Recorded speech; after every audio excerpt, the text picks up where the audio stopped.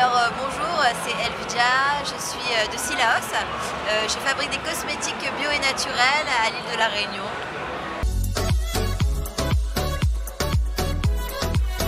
Alors le salon, bah, c'est une opportunité vers l'extérieur.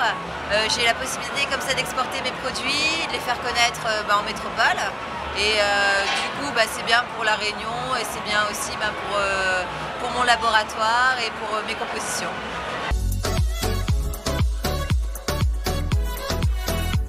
Et le village Réunion, bah, franchement c'est sympathique parce que chaque année il y a les groupes de musique, il y a une bonne ambiance, la Réunion est bien représentée et voilà, j'espère que je pourrai revenir encore.